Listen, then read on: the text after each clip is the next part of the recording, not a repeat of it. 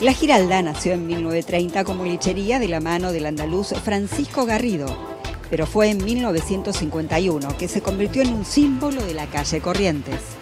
Nos encontramos en La Giralda, este mítico bar que forma parte del patrimonio cultural de la ciudad de Buenos Aires.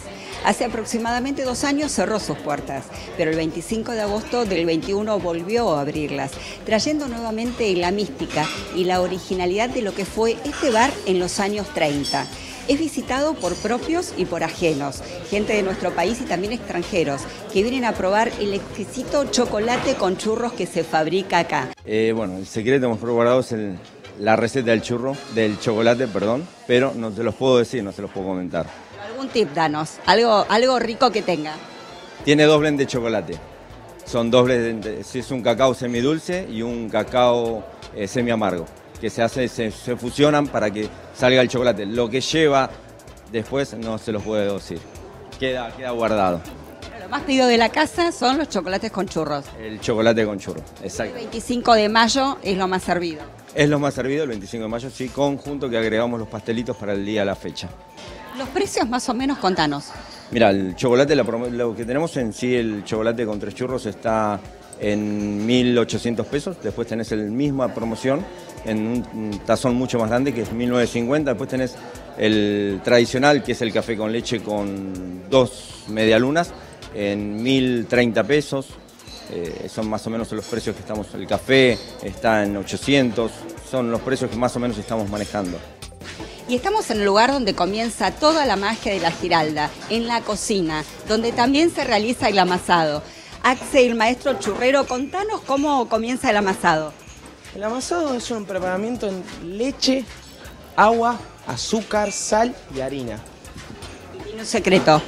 Tiene un secreto, pero no te lo puedo decir. Está bien, vale, vale.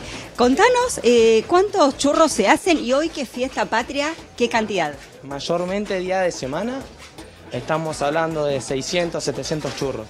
Y fin de semana Estamos hablando de 1.000, 2.000, 3.000, dependiendo de la clientela que venga. La confitería tiene capacidad para 110 personas, que en su mayoría vienen por el famoso chocolate con churros. Feliz Día de la Patria. Eh, bueno, es una tradición venir a la Giralda, eh, siempre con muy buen servicio y muy buena calidad. Eh, así que bueno, queremos celebrar un, día más de la revolución. ¿Qué tiene de especial el chocolate y los churros? El chocolate es espeso y los churros, bueno, eh, primero tienen una dimensión interesante y también el relleno, el dulce de leche es muy bueno y muy argentino.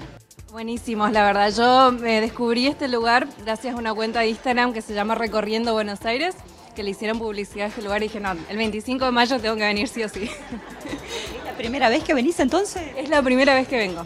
Así que bueno, me pareció genial, todo de calidad. Este, me pedí dos, uno simple y dos de dulce de leche. Así que hice el, el dip.